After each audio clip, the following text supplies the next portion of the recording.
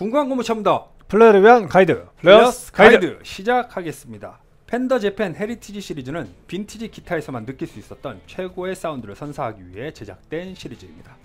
펜더 Custom Shop의 유명한 master builder 출신이자 빈티지 악기에 대한 넓고 깊은 지식을 자랑하는 마크 캔드릭의 검수하에 빈티지한 매력의 기타를 찾는 연주자들이 열광할 만한 스펙으로 제작되었습니다. Heritage 시리즈의 모든 모델은 펜더 USA 제품의 데이터를 기반으로 제작되었으며 body와 neck 형태는 각 시대의 특징을 담아내었습니다. cloth wire 픽업 및 픽업 세팅, 픽업 톤, 그리고 클래식한 body 컬러를 재현하여 오리지널 펜더의 계보를 이어나가고 있습니다. 오늘 Players Guide에서는 2021년 펜더 재팬에서 새로 출시한 프리미엄 빈티지 Heritage 시리즈를 한 자리에서 만나볼 예정입니다. 오늘 만나볼 기타는 다음과 같습니다. 펜더 재팬 Heritage Fifties 스트라토캐스터, Sixties 스트라토캐스터, Fifties 텔레캐스터, Sixties 텔레캐스터 Custom 은총 씨의 멋진 연주를 통해 펜더 재팬 Heritage 시리즈의 매력을 알아보도록 하겠습니다.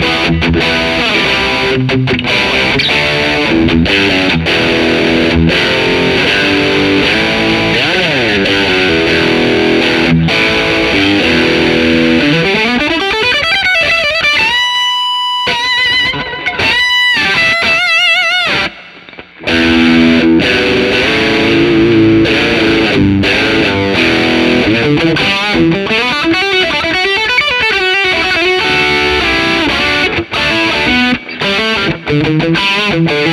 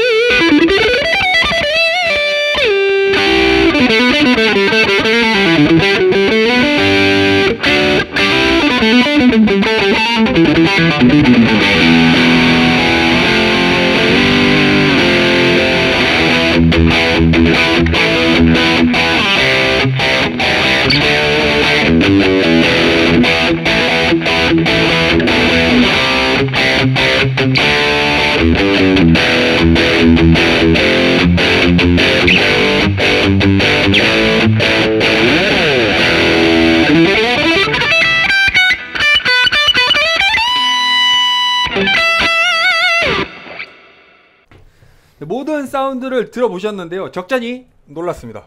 어, 확실히 인정합니다. 어, 확실히 저희가 이전에 어, 시간에 얘기했던 부분들이 어, 일정 부분 맞아 떨어졌다라고 생각을 해요. 뭐냐면은 팬더 USA에서 어, 단종시킨 음. 라인업들이 팬더 재팬에서 완벽하게 재현이 되고 있다라는 생각이 들고요.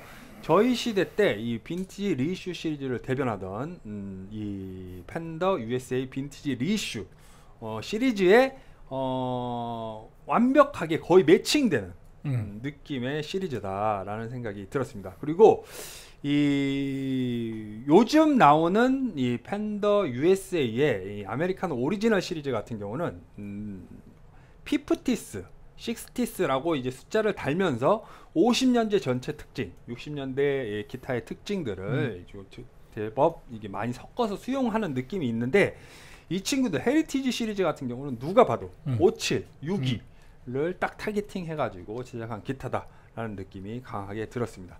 이 마감도 그렇고요. 네. 사운드도 그렇고 실제로 이전에 제가 다뤄봤던 이 빈티지 reissue 시리즈가 굉장히 많이 연상이 되는 음. 시간이었는데 은총 씨의 소감도 어, 공유를 해주시면 좋을 것 같습니다. 근데 저도 비슷한 생각이고요. 제가 57도 오래 썼었고 6기도 오래 썼었습니다. 실제로 음. 굉장히 오랜 시간 동안 연주를 했었고 그때 느꼈던 기분이 많이 느껴졌는데 뭐 다만 좀 다른 게 있다면 넥 감 차이가 음. 좀 왜냐면 완벽하게 똑같이 재현했다는 느낌보다 넥은 좀 더 다른 쉐입, 약간 좀 더 굵은. 왜냐하면 여러분들 지금 62 빈티지 reissue 모델 가지고 계신 분들은 아, 아시겠지만 62 빈티지 neck이 굉장히 얇죠. 맞습니다. 얇, 얇아서 그리고 이제 예전 57 빈티지 reissue 같은 경우는 이제 V 넥이죠. 음. V shape neck. 그래서 그 그것 때문에 아 내가 메이플 지판이었지만 뭐 V 넥이 별로인 사람 그리고 반대로 어 이게 너무 좋다는 사람 때문에 이제 57에 대한 선택에서 많이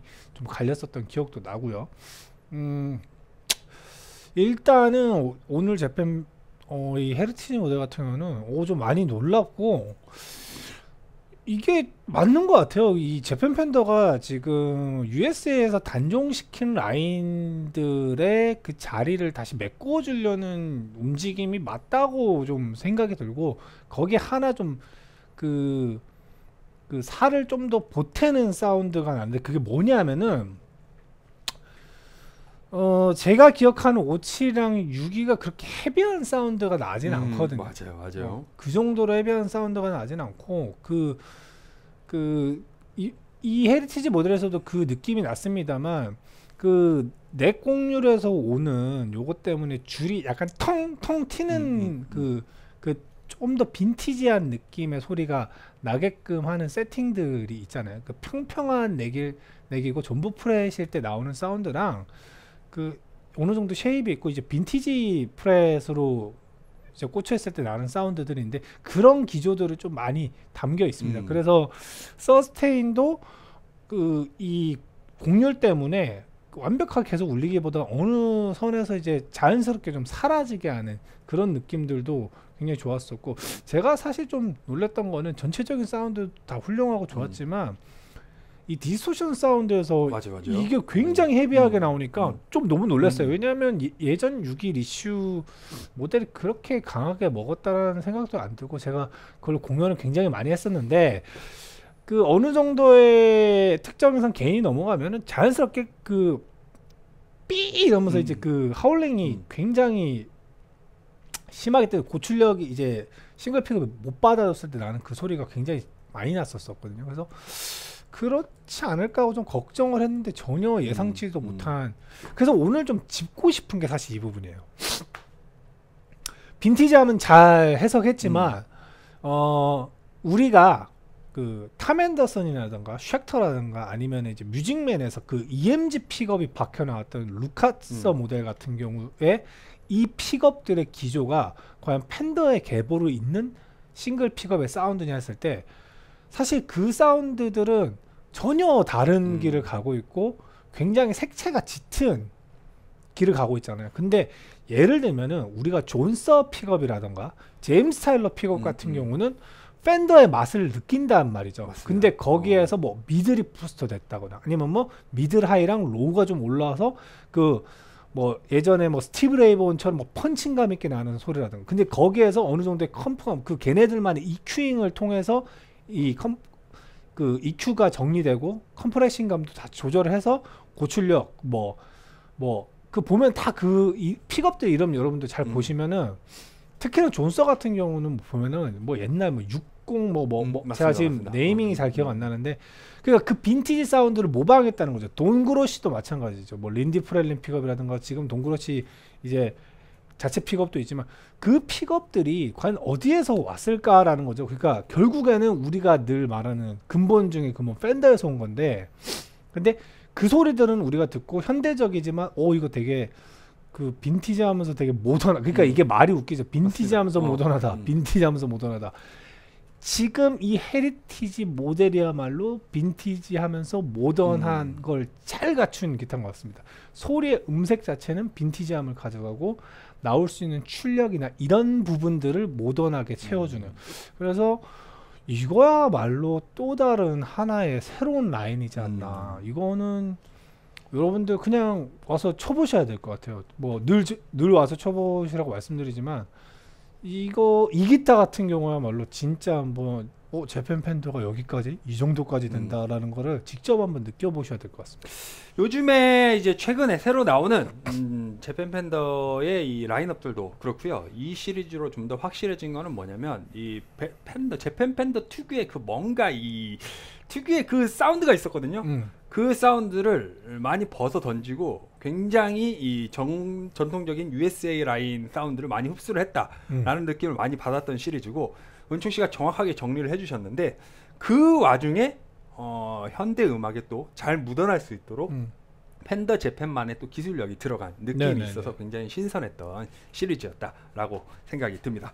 다음 시간에 저희가 어, 이 Fender USA American Original 시리즈랑 이 Fender Japan Heritage 시리즈를 비교를 해볼 예정이니까요. 네. 그 편도 많이 기대해 주시길 부탁드립니다. 저희는 다음번에 다른 주제 갖고 것을 약속드리면서 이 시간 마무리 짓도록 하겠습니다. 네. 궁금한 거 묻힙니다. 플레이를 위한 가이드 플레이어 플러스 가이드 가이드 다음 시간에 뵙겠습니다. 감사합니다.